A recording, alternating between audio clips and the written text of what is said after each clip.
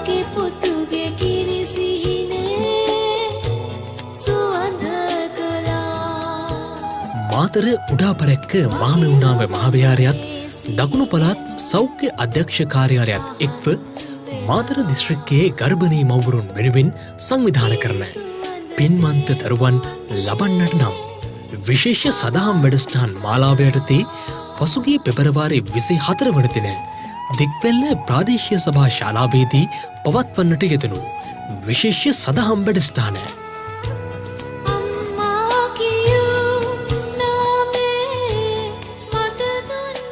මාර්තු දාහත් වන සෙනස්රාදා දහවල් දොලාට ශ්‍රද්ධාරූප වාහිනියෙන්